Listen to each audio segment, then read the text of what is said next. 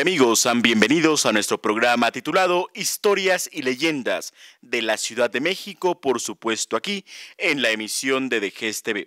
Quien suscribe el de la voz, Gerardo Olvera Flores, les da la más cordial bienvenida en este día de historia de crónica, por supuesto, de esta, la muy noble y leal Ciudad de México. En el programa pasado, amigos míos, estábamos atentos, pendientes de una de las historias más importantes, más cruentas también, de la época ya de independencia de nuestro país. Estamos hablando del año de 1872 cuando lamentablemente un día 18 de julio fallece, perece, precluye sus días, levanta su sombra Benito Pablo Juárez García, quien es considerado el benemérito de las Américas. Estábamos en la crónica pasada relatando lo que fueron sus últimos momentos de Benito Pablo Juárez García, cuando eh, los médicos Rafael Lucio Gavino Barreda y por supuesto su médico de cabecera, eh, el señor Alvarado, pues comenta en la circunstancia en que ya es insostenible su salud. Le dicen que sus días han llegado. Seguramente Benito Juárez también sintió los extractores de la muerte y empezó a llamar a su gente más allegada. Llegaron, por supuesto, sus hijas, sus cinco hijas que aún estaban con vida. Llegó su único hijo varón, Benito Juárez Maza, y empezó a despedirse de ellos. También llamó a José María Lafragua, que en ese momento era el secretario de Relaciones Exteriores. También llamó, por supuesto, al personaje que ocuparía a su muerte la silla presidencial, Sebastián Lerdo de Tejada, y en, en un grupo muy minoritario, en un grupo muy cercado de personas, pues aproximadamente a las 11 de la noche de ese día 18 de julio de 1872, Benito Juárez, Benito Pablo Juárez García, exhala su último aliento y para desgracia de la nación mexicana, muere. Es a las 11 de la noche de ese día 18 de julio que levanta su sombra, que México se queda en la vacatio, es decir, se queda sin la presencia de un presidente de la República y en ese momento hasta las 4 de la mañana, nos dice la crónica, Benito Juárez es velado por su familia, su familia más cercana, en un velorio bastante íntimo, en su misma alcoba donde muere. Es ahí cuando a partir de las 4 de la mañana, ya del día 19 de julio de 1872, empieza a correr la fatídica noticia de que el presidente de la República, Benito Pablo Juárez García, había muerto.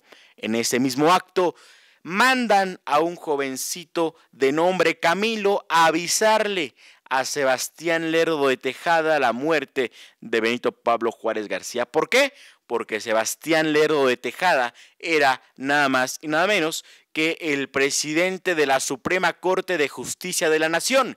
Y a la falta por muerte o renuncia de un presidente de la República en ese momento, quien tomaba interinamente la silla presidencial era el presidente de la Suprema Corte de Justicia de la Nación, en este caso Sebastián Lerdo de Tejada. Es así que el Congreso al otro día llama sesión para en el interinato por la muerte de Juárez nombran presidente interino a Sebastián Lerdo de Tejada. En Palacio Nacional, ¿qué pasaba?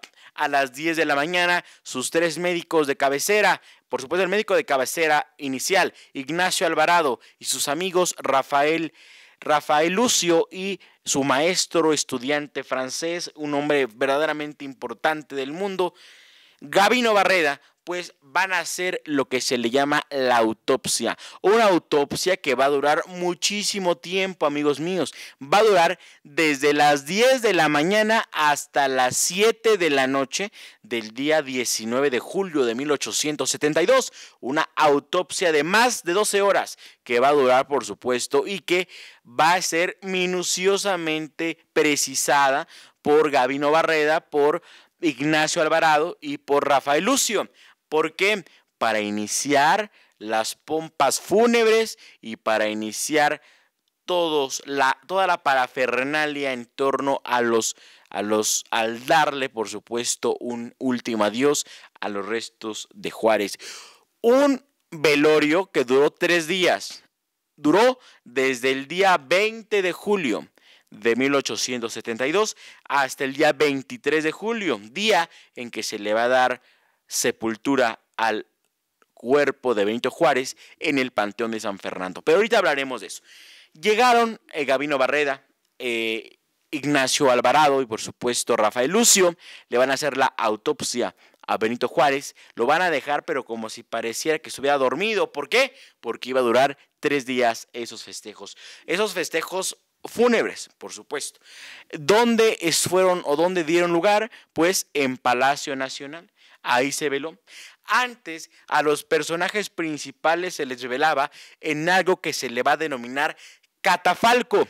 ¿Qué es un catafalco? Es solamente una, una base de madera en la cual, sin ningún vidrio, sin ninguna protección, estará expuesto el cuerpo ya mortuorio de Benito Pablo Juárez García durante tres días. Honores tras honores, todos los militares le hicieron guardia, todos los pueblos de la Ciudad de México tuvieron que llevar una aureola hacia el velorio de Juárez en Palacio Nacional, lo que aconteció el día 23 de julio de 1872 es el entierro de Benito Pablo Juárez García, primeramente con una ceremonia pero dicen las crónicas que fue completamente fastidiosa, que fueron más de 10 horas entre poemas, entre declamaciones hacia Benito Pablo Juárez García y que fue el calor en ese día era inclemente. Las crónicas indican que hasta el embajador de Estados Unidos en México hasta se desmayó del calor tan inclemente que había estar parado escuchando cantos, alabanzas, poemas, declamaciones, discursos a la figura de Benito Pablo Juárez García.